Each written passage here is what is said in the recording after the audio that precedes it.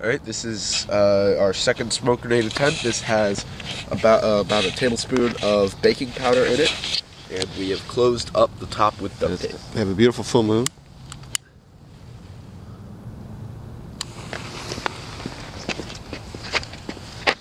Hopefully it doesn't explode.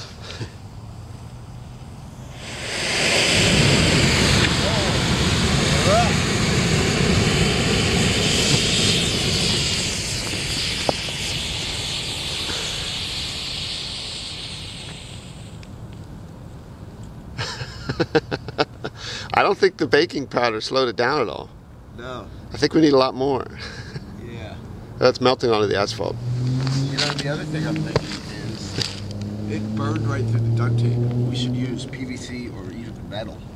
Yeah. Can you uh, blow it off the uh, get it off the asphalt? Oh man, that was awesome. Look at the smoke. It's obscuring the trees.